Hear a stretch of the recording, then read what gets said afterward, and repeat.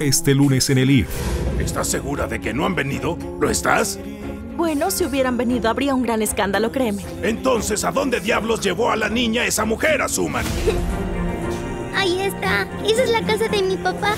Señora Rabia, ya he estado aquí. Ya he venido a la finca. 1840 en Bolivisión. Esta empresa está regulada y fiscalizada por la ATT.